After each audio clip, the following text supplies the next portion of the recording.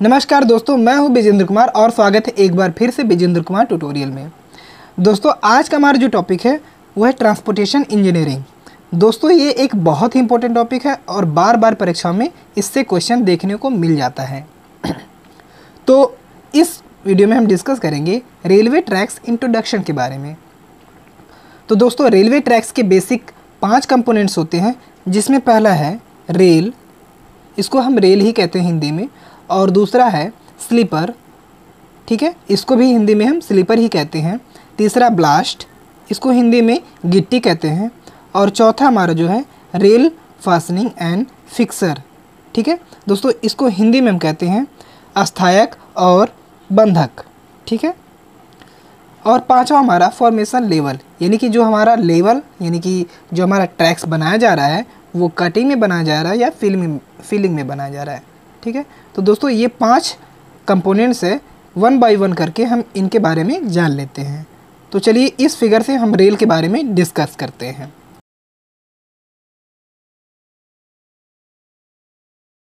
तो दोस्तों, जैसा कि आप इस फिगर में देख रहे हैं, ये होता है हमारा रेल ठीक है? रेल एक तरह का आई सेक्शन होता है, जिसमें ऊपर वाला हिस्सा जो होता है, ये वाला हिस्सा हमारा हेड कहलाता है, और नीचे वाला हिस्सा जो होता है जो बैठा होता है ज़मीन पे, उसको हम फुट कहते हैं। और बीच में जो हिस्सा बचता है, उसको हम कहते हैं वेब। जैसा कि आई सेक्शन, यानी स्टील स्ट्रक्चर्स में आपने पढ़ा होगा। ठीक है? दोस्तों, ये वाला हिस्सा जो है, इसको हेड कहते हैं और इसी के ऊपर से हमारी रेलगाड़ी चलती है। दोस्तों, ये बहुत ही ज़्यादा स्ट्रेस बियर करता है, क्योंकि ये स्टील बहुत ही हाई क्वालिटी की होती है। दोस्तों, रेल मुख्यतः तीन तरह की होती है। पहली होती है डबल हेडेड रेल दूसरी होती है बुल हेडेड रेल और तीसरी होती है फ्लैट फुटेड रेल। दोस्तों अगर आपको इस पर डिटेल्स वीडियो चाहिए तो आप वीडियो के नीचे कमेंट्स बॉक्स में लिख दीजिए, मैं उस पर भी वीडियो बना दूँगा। ठीक है? क्योंकि ये बहुत ही इंपॉर्टेंट टॉपिक है।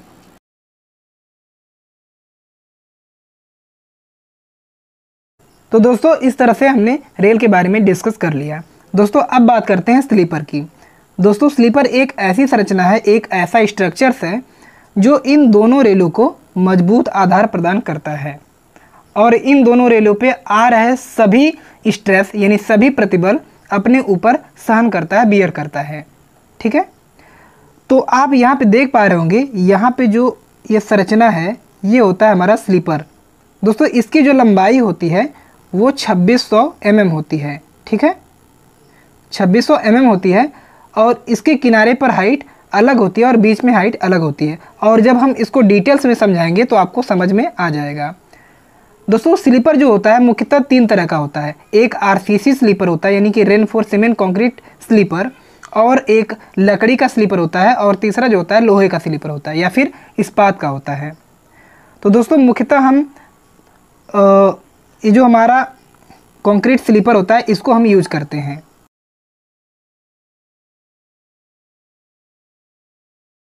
तो दोस्तों, जैसा कि आप इस फिगर में देख पा रहे होंगे, यहाँ पे ये जो चीज़ है, इसी को हम ब्लास्ट कहते हैं और हिंदी में गिट्टी कहते हैं।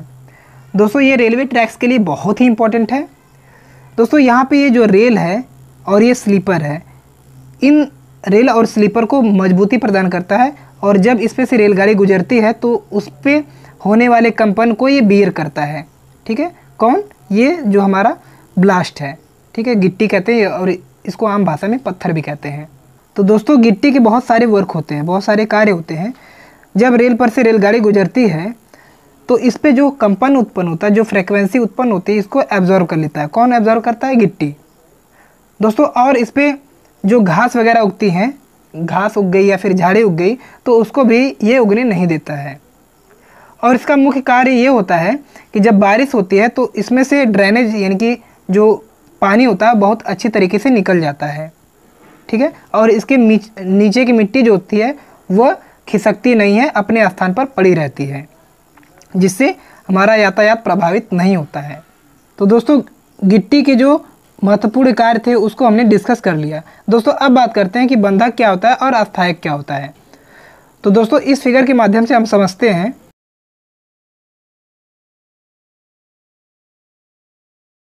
तो दोस्तों, जैसा कि आप इस फिगर में देख पा रहे होंगे, यहाँ पे दो पटरियों को जोड़ने के लिए यहाँ पे एक प्लेट का यूज़ किया गया है।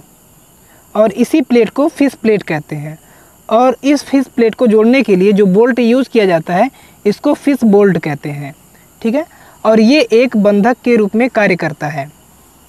और जो फिक्सर होता है, यहाँ पे आप देख पा रहे होंगे, यहाँ पे एक कीज़ है, इसको चाबी कहते हैं हिंदी में। ये जो है स्लीपर और रेल को, यानी कि रेल और स्लीपर को जोड़े हुए हैं, इसको हम चाबी कहते हैं और इसी को हम फिक्सर कहते हैं, अस्थायक कहते हैं। तो दोस्तों, इस तरह से हमने बंधक और अस्थायक के बारे में डिस्कस कर लिया।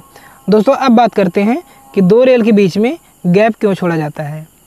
तो दोस्तों, आप जैसा कि सभी लोग जानते हैं कि दुनिया में जो भी चीज़ें हैं, वो गर्मी के दिनों में फैल जाती हैं और ठंडी के दिनों में सिकुड़ जाती हैं।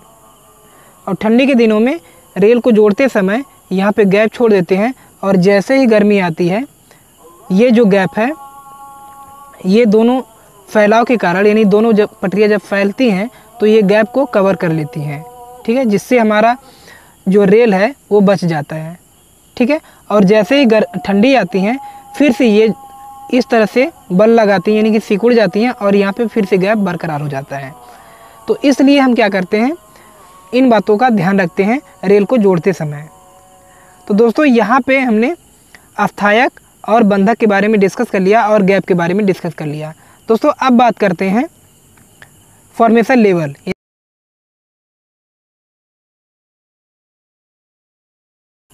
तो दोस्तों, यहाँ पे जो रेल बनाई गई है रेल ट्रैक बनाया गया है, वो भराव में बनाया गया है और यहाँ पे जो रेल ट्रैक बनाया गया है, वो कटाव में बनाया गया है।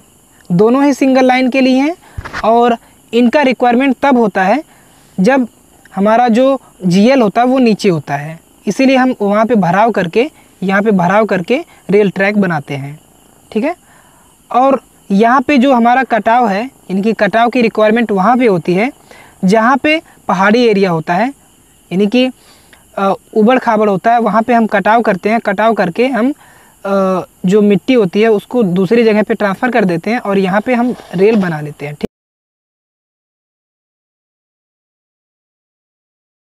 तो दोस्तों, जैसा कि आप इस फिगर में देख पा रहे होंगे, यहाँ पे जो स्ट्रक्चर्स है, इसको हम रेल कहते हैं। और रेल के ऊपरी सिरे को हेड कहते हैं, बीच वाले सिरे को वेब कहते हैं और निचले वाले सिरे को फुट कहते हैं, जैसा कि आई सेक्शन में बताया गया था। और यहाँ पे ये जो स्ट्रक्चर्स है, इसको हम स्लीपर कहते हैं। स्लीपर मुख्यतः तीन प्रकार के होते हैं। पहला होता है आरसीसी स्लीपर दूसरा होता है इस्पात स्लीपर और तीसरा होता है लकड़ी का स्लीपर यानी उडल स्लीपर और यहाँ पे जो रेल है, जिस पर बैठी हुई है, इसको हम चेयर कहते हैं, ठीक है? चेयर बोल्ट ये है, जो कसा गया है, यह अक्सर मेट्रो वगैरह में देखा जाता है। और दो रेल को जोड़ने के लिए फ़िश प्लेट और फ़िश बोल्ट का यूज़ किया गया है, और इसके चेयर के अंदर जो ये जो लगाई गई, इसको हम कीज़ कहते हैं, चाबी कहते हैं, ठीक है? और ये जो ऊपर वाला हिस्सा है, यानी कि ये जो है, इसको हम रनिंग सरफेस कहते हैं, इसी पे हमारी जो रेलगाड़ी है, उसी पे चलती है। तो दोस्तों, इस तरह से हमने बेसिक इंट्रोडक्शन ले लिया रेलवे ट्रैक्स के बारे में। दोस्तों, अगर आप इन जो कंपोनेंट्स हैं, इन पे डिटेल्स वीडियो चाहिए तो कमेंट्स बॉक्स में ज़रूर बताएँ, मैं उस पर वीडियो बना दूँगा। दोस्तों, मिलते हैं नए टॉपिक पे, तब तक के लिए धन्यवाद, जय हिंद।